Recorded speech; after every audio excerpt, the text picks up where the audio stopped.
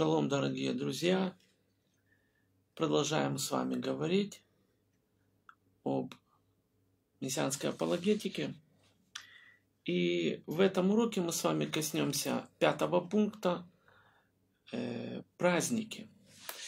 То есть э, мы поговорим о том, что праздники являются неотъемлемой частью еврейского народа. И то, что принято называть праздниками Ветхого Завета или еврейскими праздниками. На самом деле эти праздники являются библейскими праздниками. И мы говорим о тех праздниках, которые установлены Богом, как вечное установление. И Бог повелел праздновать эти праздники, потому что только в них мы можем увидеть э, пророчество о Мессии. Многие люди сегодня считают, что как бы эти праздники отжили свое, и они не являются актуальными только лишь потому, что не понимают, как их праздновать и почему их вообще нужно праздновать. На самом деле эти праздники во всей полноте открывают нам информацию о Божьем Сыне, о Мессии – и в этих праздниках исполняется, ну вот как в пантомиме, э, показано, что ли, да, исполнение всех тех э, пророчеств, которые направлены на Мессию.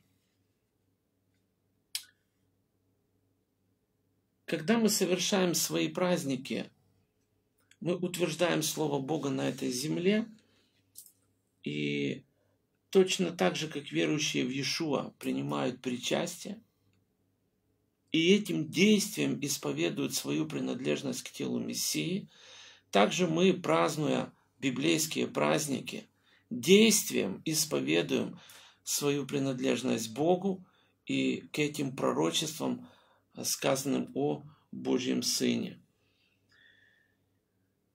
Дело в том, что для нас, мессианских евреев, исполнение праздников – это вопрос послушания Богу и не меньше и не больше.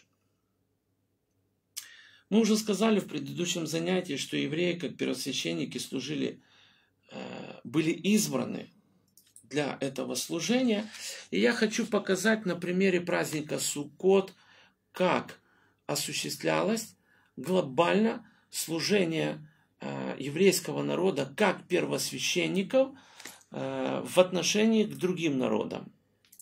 Если мы откроем с вами книгу Бытие, 10 глава, с 5 стиха, мы увидим э, Толидот, мы увидим родословие, и там написано, что от этих людей населились все острова земли, и земля вся была населена. А дальше идет перечисление имен.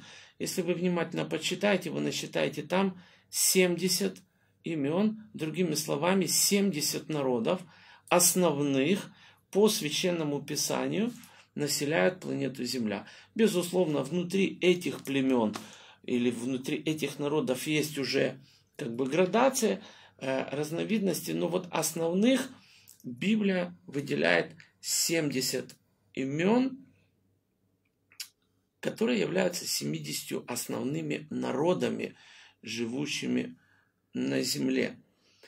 И в праздник Суккот э, происходило следующее. Я хочу сейчас зачитать вам отрывок из книги «Числа», 29 глава,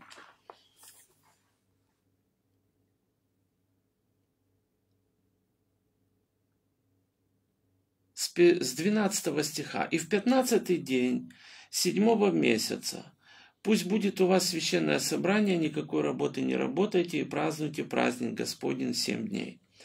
И приносите все сожжения, жертву приятное благоухание Господу, 13 тельцов – двуховнов, 14 однолетних агнцев без порока, пусть будут они, и при них приношение хлебной пшеничной муки, смешанной с елеем, три десятых части ефы на каждого из 13 тельцов, две десятых части ефы на каждого из двух овнов, и по десятой части ефы на каждого из четырнадцати агнцев, и одного козла в жертву за грех, сверх всесожжения постоянного и хлебного приношения его, и возлияния его.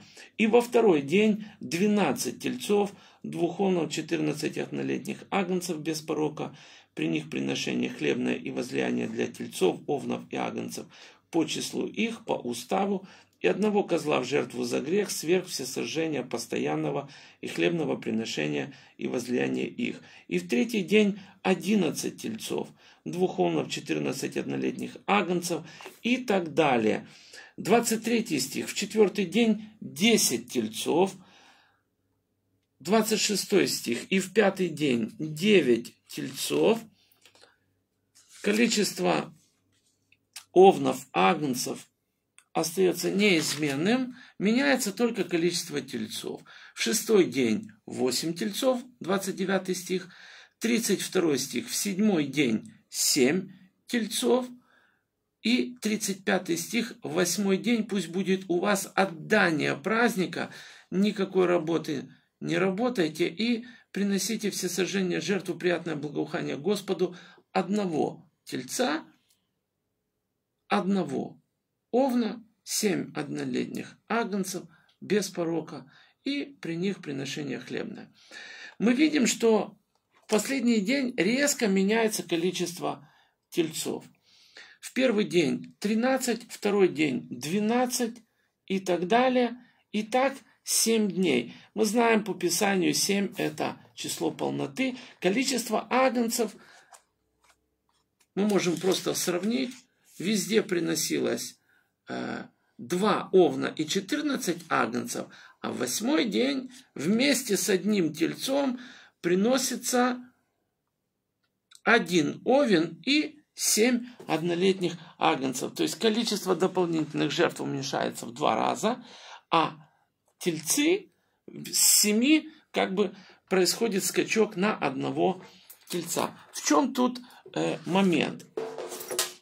Если вы посчитаете количество всех тельцов, которые приносились в Суккот, то вы насчитаете за 7 дней 70 быков.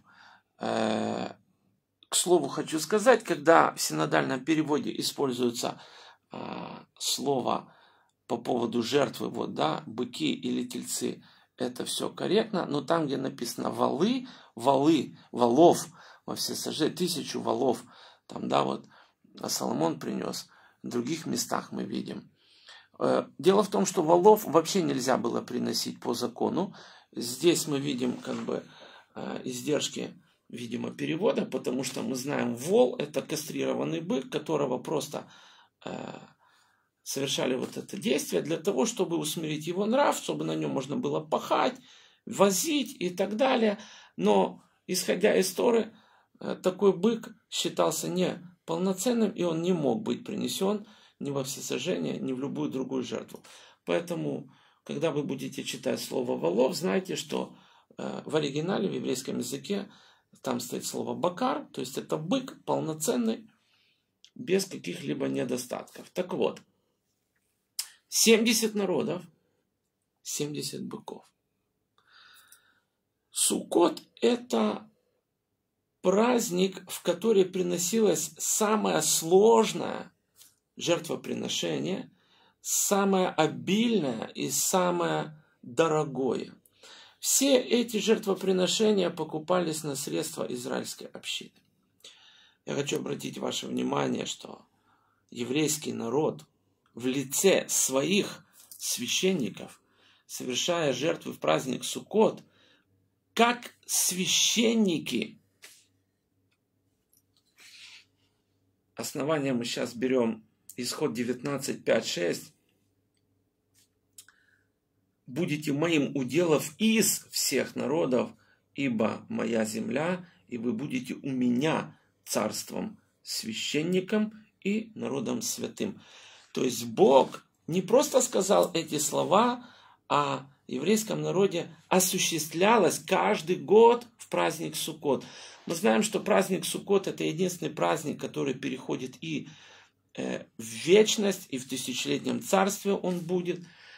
Э, смысл этого праздника, что Бог всегда обитает со своим народом, он э, вместе с ним находится рядом, и 70 народов, они включают в себя все население планеты Земля.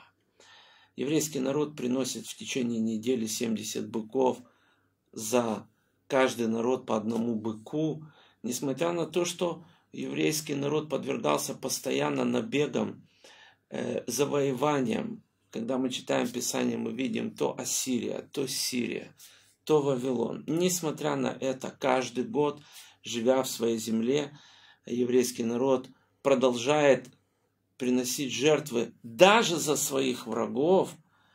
Почему? Потому что так повелел Бог, осуществляя тем самым свое призвание. И когда наступает восьмой день праздника Суккот, называется он Шмини Ацерет, э, если перевести это на русский язык, можно было бы сказать, что это восьмой день остановки. И в этот день евреи приносят за себя теперь дополнительно одного быка, одного овна и семь агнцев, козла за грех и так далее, при этом приношение хлебное. Сначала за 70 народов, потом за себя. Согласитесь, э, праздники, которые совершает наш народ, он делает саму позицию этого народа в истории всего человеческого рода достаточно уникальной и как бы важной ролью, предваряя тем самым приход Мессии. Потому что когда приносят как священник, еврейский народ, жертвы за все остальные народы, это как бы показывает нам, скоро придет Мессия и искупит всех, который тоже станет и жертвой, и первосвященником одновременно, и царем, и козлом отпущения, и жертвой за грех. В общем, в нем как бы реализуется полностью вся система жертвоприношений танахических и показывают нам полноту образа и жертвы Мессии. Э, интересно то, что традиция говорит о том, что вот 70 народов, да, 70 быков, а где еще можно найти подтверждение этим вещам? Я хочу зачитать вам один стих, когда Соломон взошел на царство, и он построил храм, вторая книга Паралипоменон, четвертая глава, седьмой стих. «И сделал десять золотых светильников, как им быть надлежало, и поставил в храме пять по правую сторону и пять по левую сторону.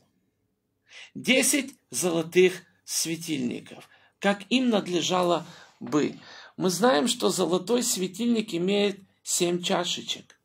Умножьте 10 светильников на 7 чашечек, и вы получите 70 лампад, 70 светильников, которые каждая лампада также горела в храме сутки, каждый день, как бы показывая, что жизнь в этом народе горит – теплится благодаря тому, что совершает служение первосвященников еврейский народ для вот этих всех народов. И одиннадцатая минора – это был артефакт, э, это была минора, сделанная еще Бецалелем или Веселилом, русской версии. Э, ее из Мешкана перенесли, из Скини ее перенесли просто в храм, и там поставили – где ей положено было быть. Но Писание говорит нам, что Соломон сделал 10 светильников. Вопрос, почему он это сделал? Ответ нам дает традиция. Потому что в еврейском народе приносили жертвы за 70 народов. И поэтому Соломон, зная эту традицию и зная, что происходит из года в год в Скинии, дает повеление сделать дополнительно еще 10 светильников, чтобы они символизировали собой все 70 народов. Также было дополнительно сделано 10 хлебов предложения. Э, это следующий восьмой стих. Также были сделаны умывальницы и тележки, на которых все это подкатывалось. Дома вы можете прочитать эту главу и увидеть, что э, все, то есть традиция в данном случае имеет достаточно э, веские основания на то, чтобы ей доверять, поскольку в каноне мы видим описание вот этих вещей. Конечно, я сегодня не говорю глобально о праздниках, я пытаюсь просто показать, насколько эти праздники важны и насколько важна была функция еврейского народа в исполнении этих праздников, потому что они как бы наполняли чашу, пока не придет Мессия, пока не наступит полнота времен. И делали это каждый год, неизменно, все праздники. В следующем занятии, друзья, мы поговорим с вами о других, э, других э, аспектах этого пятого пункта, праздники. На этом мы с вами прощаемся. До новых встреч. Пусть Бог благословит вас. Аминь.